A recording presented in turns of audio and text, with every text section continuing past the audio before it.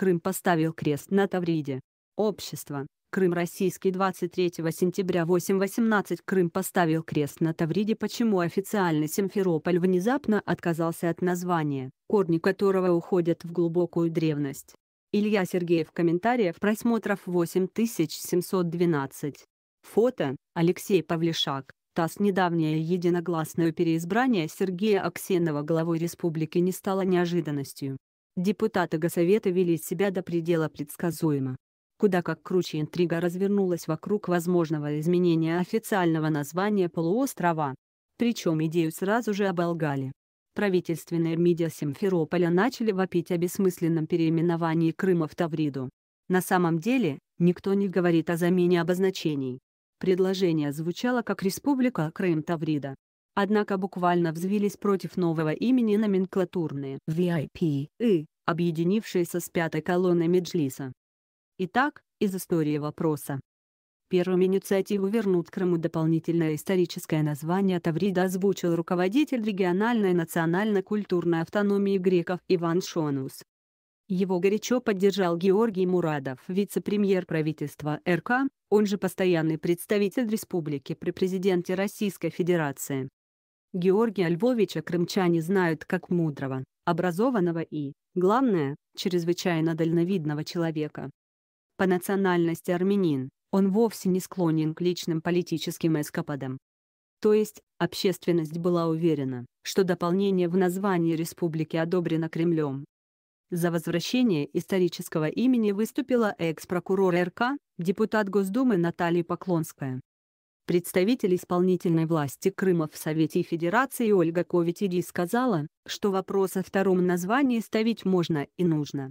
Зеленский построит новый город, глядя на который, русским станет стыдно за Сочи президент Украины зовет инвесторов, чтобы с нуля возвести на берегу Черного моря чудо-курорт. Я как русский человек, который хорошо знает историю Крыма, высказался бы за восстановление исторически справедливого названия полуострова Таврида, заявил член Совета Федерации Федерального собрания РФ, председатель русской общины полуострова Сергей Циков. Сенатор напомнил, что после издания Екатериной II манифеста о принятии полуострова Крымского, острова Тамань всей кубанской стороны под российскую державу этот край получил название Таврическая область. Естественно, под управлением князя Потемкина Таврического. Я за то, чтобы дискуссия по этому вопросу велась. Учитывая, что Крым это бренд, название, известное во всем мире, можно было бы назвать полуостров Крым Таврида. В России уже существует подобный опыт, когда регионы носят несколько названий, например, Саха-Якутия или Северная Осетия-Алания, убежден Циков. Многие поддерживают название Таврида, согласен председатель Союза ветеранов русского движения Крыма Сергей Шувайников. В Таврике крестился князь Владимир, в Тавриде утверждалась Россия. В Крыму утверждалась только Турция. Похожая позиция у известного симферопольского публициста и общественного деятеля Алексея Васильева. Наш полуостров назывался Тавридой, Таврикой, более 21 века в доимперский и в имперский период отечественной истории. Крымом же он был в три раза меньше в годы Крымского ханства и при Советском Союзе, потому вернуть историческое имя Таврида уместно и справедливо. Действительно, двойные названия республик в российской державе нормально, культурно, исторично и, как говорится, на будущее. Осетия, Алания и Якутия Саха никого не смущают.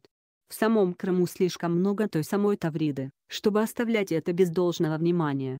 И тем более совершенно невероятной оказалась нервная реакция двух руководителей региона. Внезапно и предельно резко потребовал прекратить дискуссию Сергей Аксенов. Обсуждение темы по переименованию Крыма в Тавриду двойному использованию исторических названий считаю необходимым прекратить. Подобные инициативы не нужны и не актуальны. В 2014 году на родину в Российскую Федерацию вернулась Республика Крым. Это название мы должны сохранить. Давайте заниматься делом. Такое указание глава РК выставил на своей странице в соцсети.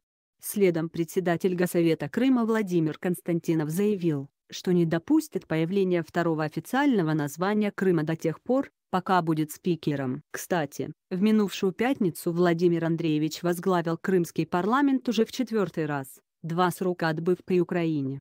Я категорический противник вот этих идей. Считаю аморальными спекуляции на подобных вопросах. У нас в Крыму есть чем заниматься, у нас колоссальный объем задач и проблем. Мы вот эти слова «Республика Крым» выстрадали, они нам не просто дались. Для нас эти слова значат очень важное, прошли через сердце каждого. А второе, Крым после Крымской весны знает весь мир. А завтра спросят это Врида и мы будем все рассказывать, что когда-то это было. Ну зачем? Предупреждает Константинов. Пока я спикер, этого не будет. Очень похоже выступил влиятельный крымский политик, зампред Комитета Госдумы по делам национальности Руслан Бальбек. На самом деле полуостров назывался Тавридой, Тавреей, Таврикой, когда на его берегах селились еще древние греки. Сначала эллины окрестили так только южную оконечность современной республики, а в средневековье Тавридой называли полуостров целиком.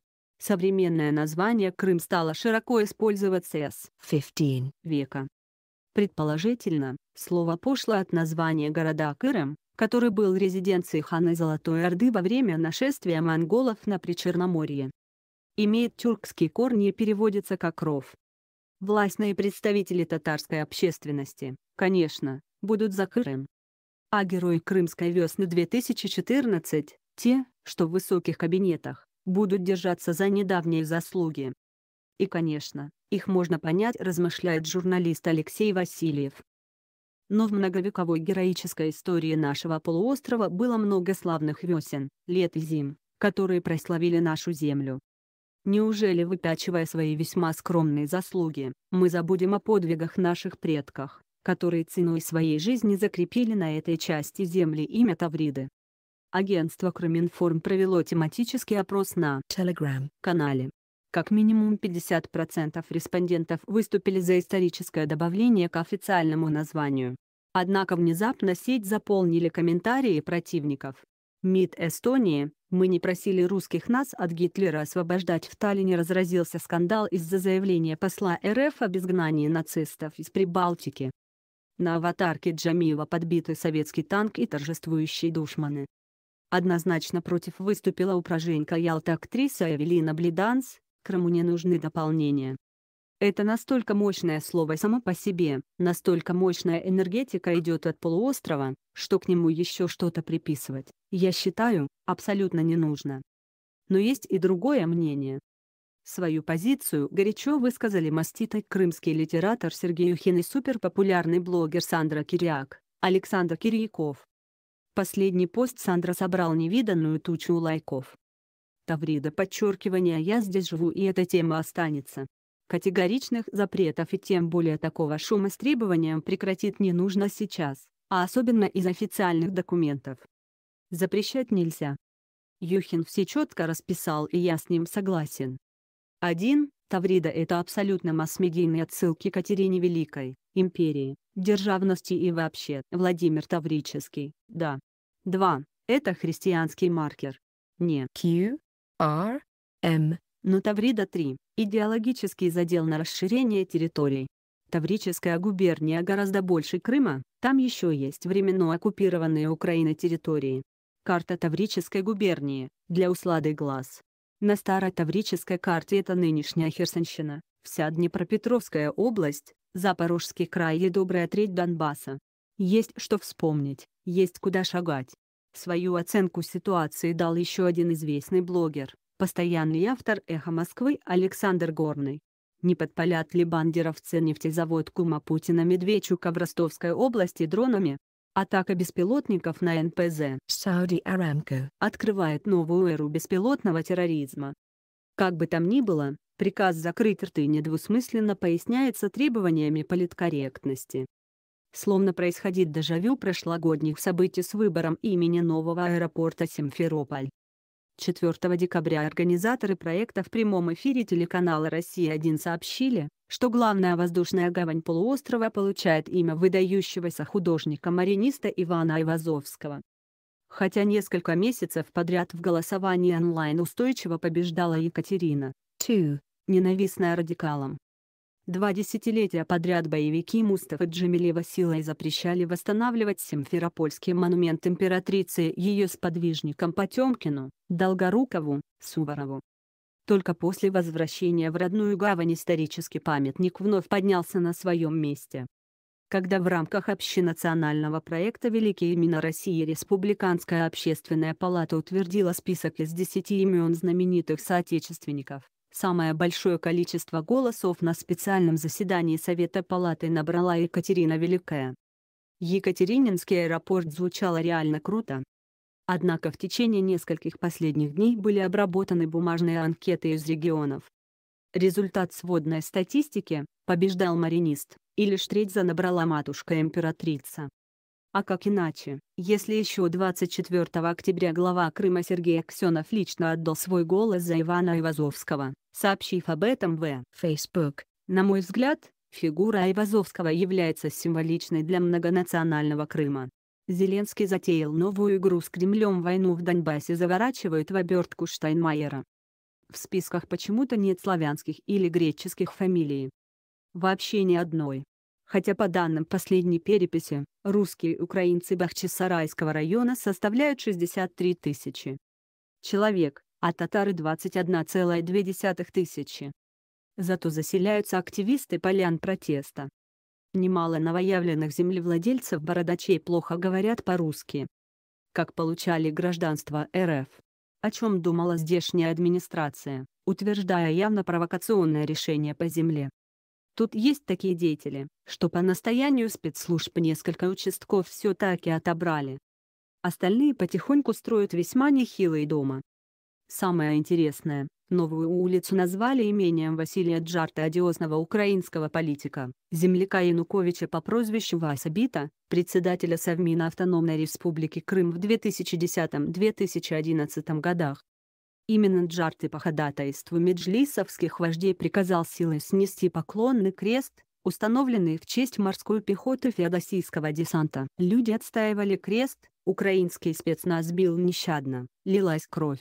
За это глава правительства получил каракулевую шапку из рук самого Мустафы Джемилева, а вскоре сгорел от рака желудка. И вот уже в российские времена прямо у трассы Таврида появляется улица Джарты.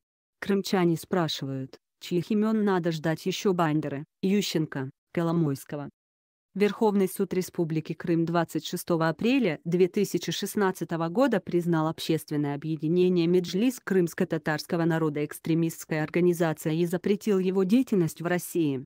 Крым российский, Севастополь, вчера ненавидели Бандер, сегодня возмущаются кавказцами новости Крыма, в Нидерландах спрятали скифское золото до решения суда.